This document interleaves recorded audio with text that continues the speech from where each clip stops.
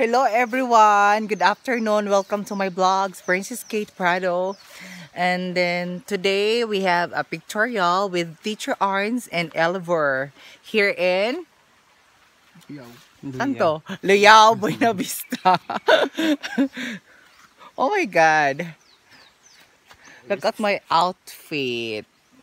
Look at my outfit today. Actually, cortina ni siya.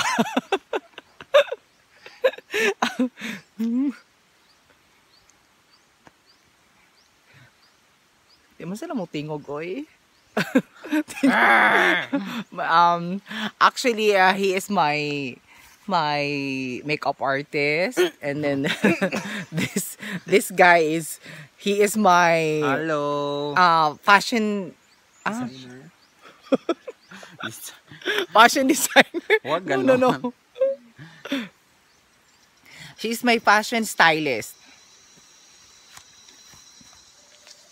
Ganda ng earrings ko.